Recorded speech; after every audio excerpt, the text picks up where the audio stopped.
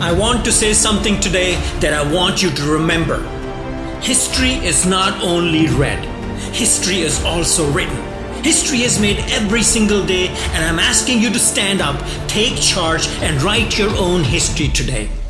It's time to rise up and take responsibility. It's time to start believing in yourself. It's about time you showed the deepest sense of faith you've ever shown in yourself. It's about time you believe in yourself.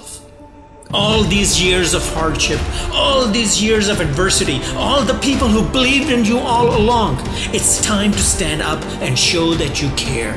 It's time to live up to their beliefs. I'm asking you to rise up. I'm asking you to stand up for yourself. I'm asking you to take charge of the situation. As you stand up for yourself, you're going to need faith.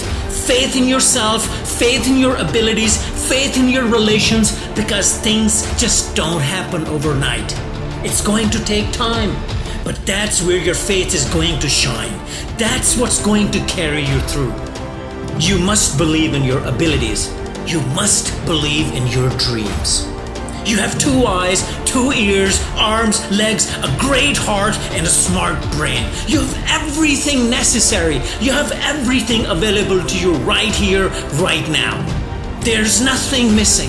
The only thing missing is your will, resolve, and belief that you can do it. And I'm giving you the assurance, I'm giving you the promise that yes, you can do it. I'm on your team. We're all on your team. Now it's up to you to make it happen. Grab this moment and make a decision. Make a decision to change your life for good.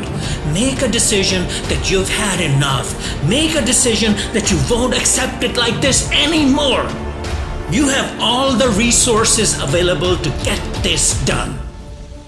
A wise man once said, We must all suffer from one of two pains the pain of discipline or the pain of regret.